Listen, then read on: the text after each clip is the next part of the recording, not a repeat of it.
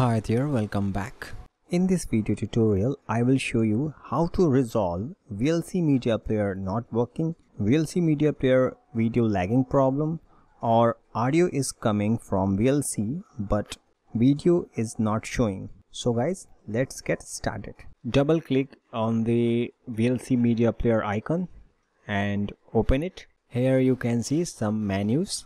So click on Tools and click on Preferences under the simple preferences heading.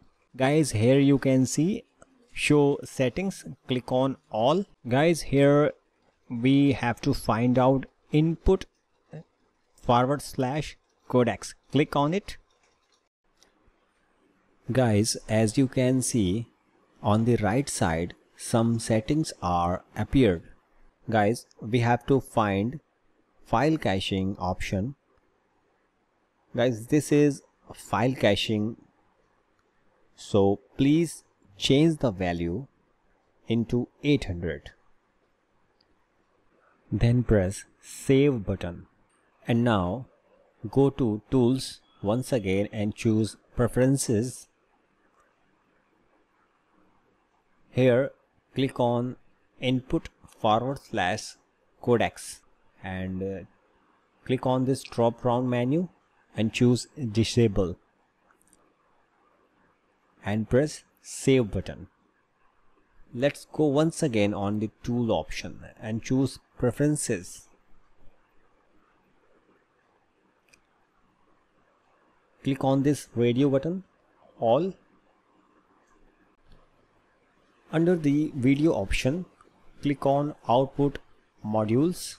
On the right side some settings are visible so click on this drop down menu or choose automatic then press save button.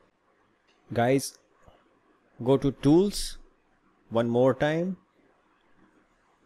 Click on tools and click on preferences. And just click on this radio button. All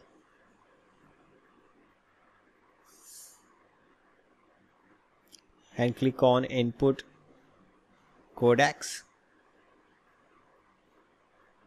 and click on video codecs.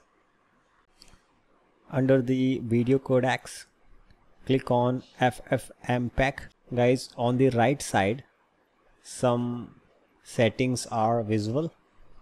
And here we have to find threads and put here value 2 and save this value it is done guys. I hope guys this video tutorial can resolve your all the underlying problems of the vlc media player. Please like and subscribe my channel. Thanks for watching